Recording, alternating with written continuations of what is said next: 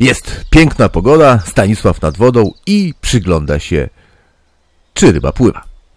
Ryba pływa, a my jesteśmy w grze, która wyszła bardzo dawno temu. Jest to gierka Professional Fishing. Jest to gierka free to play i muszę wam powiedzieć, że jak wyszła, to cholernie mi się podobała. Dzisiaj średnio najeżdża z tego względu, że gra nie jest zbytnio rozwijana. Ale fakt faktem jest to ciągle bardzo fajna produkcja. I co ważne, jest to gierka, która spodoba się wielu graczom, którzy nie mają zbytnio dużo czasu, aby levelować w Russian Fishing 4, zarabiać gotówkę, bo to żywy horror. Jeżeli chodzi o drugą free-to-play, czyli Fishing Planet, no to już jest sprawa dużo prostsza, ale też jednak trzeba trochę czasu poświęcić. To jest gierka trzecia z gier free-to-play, która jest może i łagodniejsza, prostsza, może nie ma tylu bajerów, ale fakt faktem jakoś na miastkę przygody na rybach daje i wielu wędkarzy tutaj graczy może tak bardziej e, poznaje powoli wędkarstwo, uczy się tego i spokojnie po robocie, mając godzinę czasu, może łowić. Po pierwsze, innych wędkarzy, graczy tutaj widać, co jest na pewno dużym plusem. Po drugie, Możecie idąc sobie na przykład takim molem spotkać żabę, która nic wam złego nie zrobi, a co najwyżej zapyta się, co u was. A to na pewno jakiś smaczek jest. Na razie może spróbujmy złapać rybę. Wiem, że tutaj wszyscy rzucają, ja bardzo dawno temu jak w tej gierce byłem, czyli moje rozeznanie jest niewielkie, bo od dawna nie grałem, ale level mam 35, gotówki mam multum, czyli mogę sobie rzucić i sprawdzić, gdzie mi się w sumie podoba. No to i zobaczmy.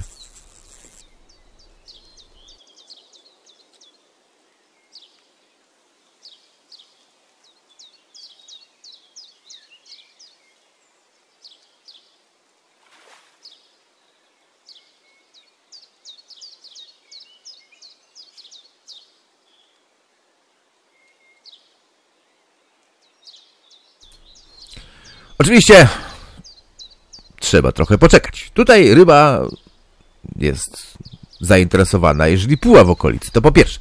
Po drugie, trzeba wiedzieć, że ona tutaj jest. Trzeba też dobrze dobrać sprzęt.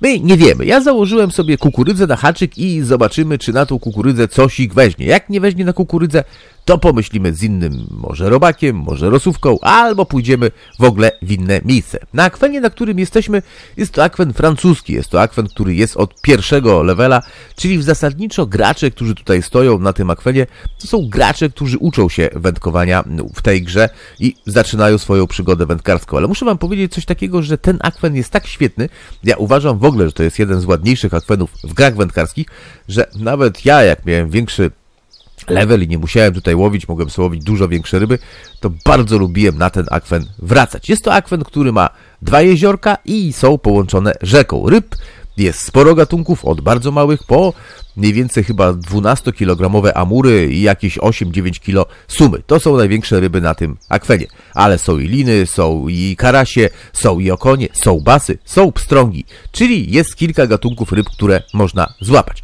W tym miejscu widać, że na kukurydzę akurat nie chce nam wziąć, ale sprawdźmy na pewno, jaki mamy zestaw założony i czy to się nadaje.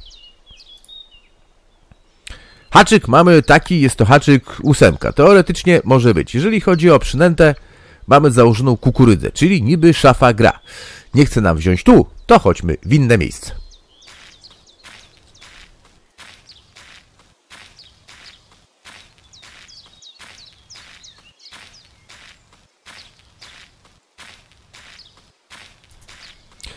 Graficznie muszę powiedzieć, że jest naprawdę bardzo fajnie. Tutaj macie właśnie taką rzeczkę, na którą większość graczy poluje na basy, na pstrągi.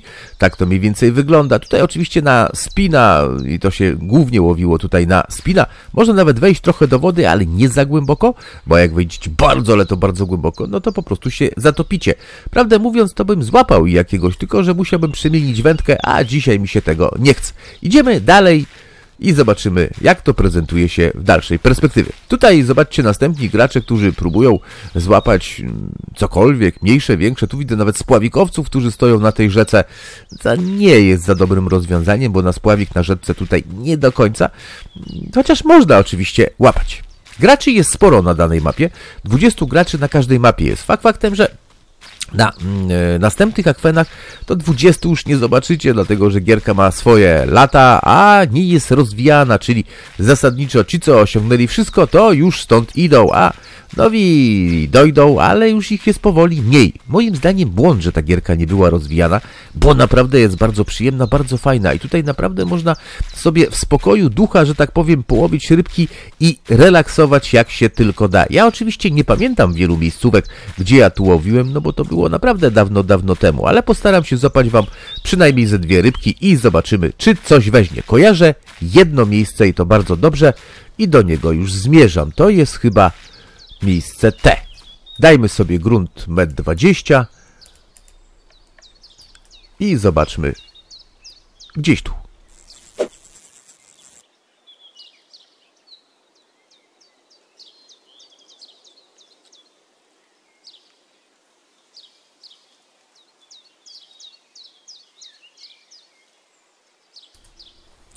Oczywiście, jeżeli chcecie, możecie wyłączyć wszystkie pomoce, czyli te, ten spławik nad spławikiem, ten spławik po prawej stronie. E, ja wyłączyłem tylko czata. Wyłączyłem czata z tego względu, że w tej gierce mm, ciągle gra bardzo dużo y, graczy z Azji i oni po prostu non stop piszą. Nie daje się na to patrzeć, bo mam pół ekranu zajęte i nie mam ochoty patrzeć na zajęty ekran przez znaki jakieś. Także czata mam po prostu wyłączonego, ale zasadniczo można tutaj wszystko włączyć albo wszystko wyłączyć i będziecie mieli wtedy tak, jakbyście byli naprawdę na rybach. To wszystko zależy od Was, od Waszych umiejętności i od tego, jak Wam się chce łowić. Na razie poczekajmy. Trzeba być cierpliwym, a może cosik tutaj pływa.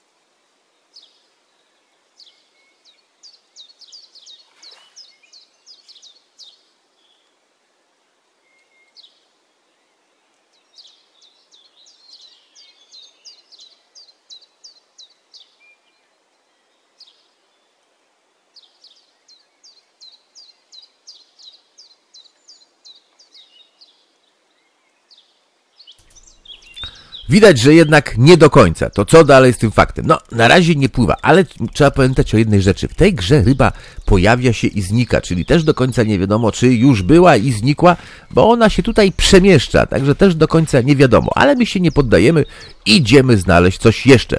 Tutaj mamy taką wysepkę i o ile kojarzę, ta wysepka również była bardzo ciekawa. Nie wiem tylko, czy haczyk, który założyłem, jest dobry na to, co poluję. Ale spróbujmy. Rzućmy gdzieś tu.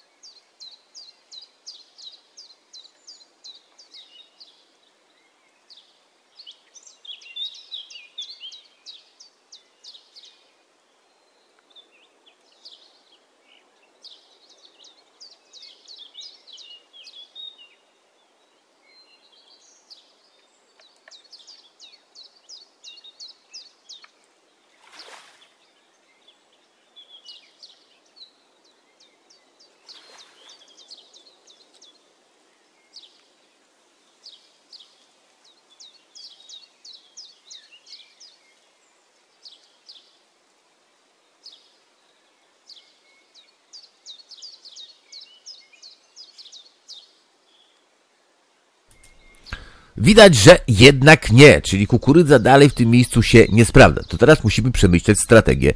Co dalej? Musimy zastanowić się, po pierwsze, mamy haczyk dosyć spory na ten akwen, bo jest to haczyk ósemkę, czyli już polujemy na rybę mniej więcej 2 kilo plus. E, staramy się zapać większą, albo zmniejszyć haczyk, albo zmienić przynętę. Ja bym tutaj jednak nie zmieniał jeszcze haczyka, a zmienił przynętę i zobaczymy, co z tego wyjdzie. Spójrzmy jeszcze raz na haczyk. Haczyk mamy taki, ja sobie zerknę na te haczyki, ten jest już bardzo duży. Jeżeli chodzi o ten haczyk, to jest ósemka taka. I ja bym założył tą ósemkę z tą kukurydzą i zobaczymy wtedy, co się wydarzy. Nie, damy ten haczyk, ale damy tutaj zupełnie inną przynętę i ja proponuję zwykłego, tradycyjnego robaka. Robak jest to przynęta, która sprawdza się w wielu sytuacjach. Jest to przynęta, na którą bierze wiele gatunków ryb i możemy śmiało sprawdzić. Jeżeli chodzi o czas w tej gierce, on płynie i zobaczcie, że mamy 10 już 17 i pogoda się zmienia. Tutaj Pogoda jest od ładnej po burzę, ale wy możecie to przesuwać. Sęk w tym, że żeby zmieniać czas i pogodę, tutaj trzeba bulić. Czyli jeżeli nie będziecie łowić ryb, tak jak ja w tym momencie jeszcze nie złapałem, a nawet jedna rybka tu nic nie da, to trzeba kilka rybek, to będziecie w plecy. Radziłbym nie przewijać czasu, a co najwyżej wyjść z akwenu i pójść na inny akwen, gdzie możecie mieć ładną pogodę. Coś ich lekko pyknęło, chyba, ale nie mam pewności, Poczekajmy chwilę, zobaczymy. Pogoda bardzo się zmienia i fakt faktem za chwilę może lunąć. Jak lunie, ja niestety nie mam parasola. Jest ryba, ale to chyba niewielka ryba.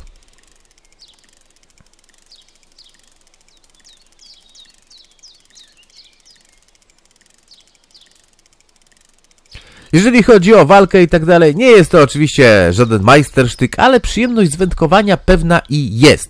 Mamy chyba, i jak dobrze widzę, ładnego karasia, a to dziwne, że nie chciał wziąć na kukurydzę bo go wtedy pewno nie było. Karaś kilo 76, no to trochę miniatura, widać, że w tym miejscu jednak yy, nie pływały zbyt duże i ten haczyk, który założyłem, to tak nie do końca jest pewny, że tutaj coś weźmie, ale przyjrzyjcie się na tą rybę. Te ryby w tej gierce naprawdę bardzo ładnie wyglądają. One mi się zawsze podobały i klimat wędkowania w tym akwenie jest bardzo, bardzo, znaczy w tej grze jest bardzo fajny. Co zrobić, jak mamy taką rybę? Po pierwsze trzeba postawić siatkę i wrzucić ją do siatki. O ile trafiłem do siatki, trafiłem do siatki. Można do siatki nie trafić. Widać, że tam pływa coś większego. Ja wam powiem, że ja wierzę w to, że tam coś naprawdę jest większego i ja założę taki oto zwykły chleb i rzucę sobie mniej więcej gdzieś tu. Poczekajmy chwilę. Zobaczymy. Chleb jest to przynęta, która jest chyba przynętą startową, o ile pamięć mnie myli. Chyba go jest ile wam fabryka dała, czyli możecie na niego łowić cały czas. A to jest pewien plus, bo nie wydajecie pieniędzy na przynętę. Pamiętajcie o tym, że to jest gra free to play i trzeba dobrze zaplanować wydatki, gdyż jeżeli coś z tyłu chyba niedźwiedź. Jeżeli coś źle zaplanujecie, to będziecie w plecy. Tu o to chodzi, żeby zarabiać. Dajmy szansę rybie. Widać, że ktoś płynie motorówką to jest bardzo nieładnie. Dlatego, dlatego że na, tych na tym akwenie pierwszym, na tych małych wodach, łódkami się nie pływa. Nawet stoją zakazy na brzegu. A resztę dopowiedzcie sobie sami. Poczekajmy na rybkę.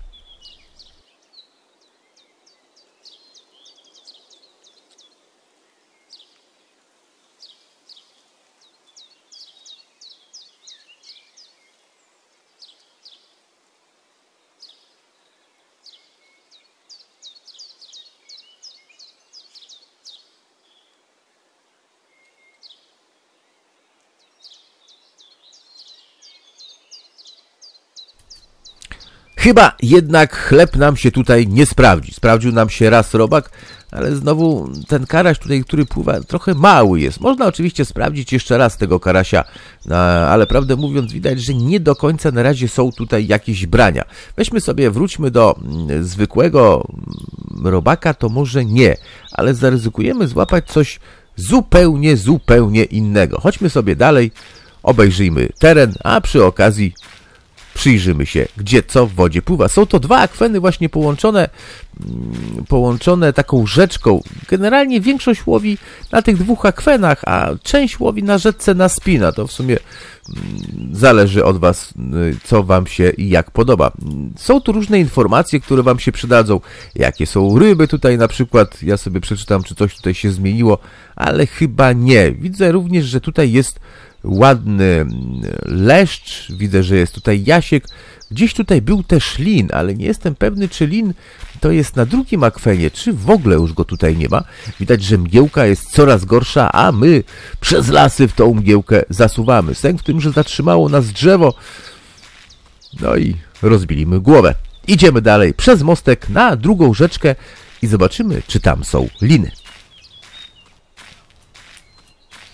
Graficznie to wygląda dosyć ładnie, muszę powiedzieć. Ja gram na monitorze format 21 na 9 eee, I ta gierka no, nie jest przystosowana do, to, za mało, do tego monitora, za mało jest optymalizacja, prawdę mówiąc, i najlepiej by to wyglądało u mnie na monitorze 21 na 9, no, ale na razie mi się nie chce przestawiać.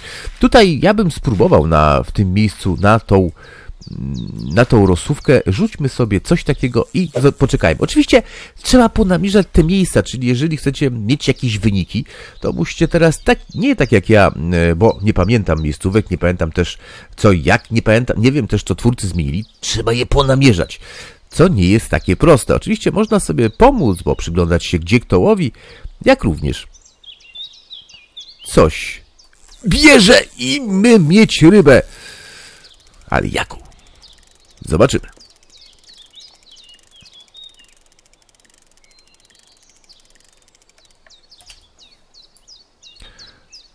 Ryba jest, ale ryba jeszcze musi pójść do góry. Sęk w tym, że nie wiem, czy ona jest zdecydowana na to, żeby pójść do góry. Ja postaram się, ona chyba już nie jest zdecydowana. Postaram się jakoś ją do podbieraka wsadzić mamy. Proszę Państwa, oto leszczki, 3 kg 37, bardzo ładny, ładny. W tej grze ładnie ryby wyglądają, chociaż ten wygląda jakby miał oczy piane y, i trochę zbomblowany pysk, tak jakby ktoś go nawalał po łbie. Oczywiście znowu rozkładacie siatkę i wrzucacie rybę do siatki. Siatkę oczywiście można od razu schować, żeby była w środku. Jak tutaj się niszczy sprzęt? Sprzęt się niszczy co rzut w zasadzie. Tu haczyk, tam żyłka, trzeba zarabiać gotówkę, aby tutaj mm, móc funkcjonować i dojść do jakichś sprzętów. Jakich? No, na przykład możecie nawet mieć coś takiego, czyli możecie sobie sprawdzać, czy tutaj coś w wodzie pływa, czy nie pływa. No, ale fakt faktem, że to wszystko kosztuje. To też wszystko się zużywa. Do tego możecie sobie kupić łódkę, do tego możecie sobie kupić między innymi proce. Mm, wybieracie sobie zanętę na przykład na karpia, nie na karasia nie, ta jest na brzane. Czy te zanęty coś dają? Nie dawały. A czy dają teraz? Nie wiem, ale przynajmniej muszę wam powiedzieć, że jest taka jakaś frajda, że się to używa. Na przykład macie do tego jeszcze łódkę, macie do tego też kłada, czyli możecie sobie pływać. To wszystko sprawia, że jest tutaj taki klimat, jakbyście byli na rybach. No i tak jak widzicie teraz, pogoda się zmienia, czyli macie mgiełki. To naprawdę bardzo przyjemnie wygląda. Jak mi się spodoba i znowu zachce, to wam może jakąś serię odcinków i z tego puszczę. No, oczywiście będę musiał ponamierzać ryby, bo prawdę mówiąc, to niewiele pamiętam, tylko tyle, co pamiętam, że coś gdzieś tu w wodzie pływa, a teraz znowu bierze i jak to Stasiek dobrze zacina i chyba mamy znowu fajnego leszcza.